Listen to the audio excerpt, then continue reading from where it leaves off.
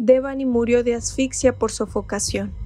Tuvieron que pasar casi tres meses y realizarse tres necropsias para saber cuál fue la verdadera causa de la muerte de Devani Susana Escobar Basaldúa, la joven que desapareció el 9 de abril del 2022 y cuyo cuerpo sin vida fue encontrado 13 días después al interior de una cisterna de un motel en Escobedo, Nuevo León.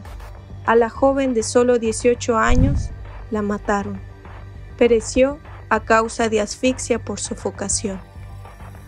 Lo anterior fue expuesto el pasado lunes 18 de julio del 2022 en conferencia de prensa desde Monterrey, Nuevo León, tal como lo anticipó el subsecretario de Seguridad y Protección Ciudadana, Ricardo Mejía Verdeja. Esta información, revelada por la nueva y tercera autopsia hecha al cuerpo de Devani Escobar tras una exhumación, también detalla que la joven murió de 3 a 5 días antes de ser hallada sin vida.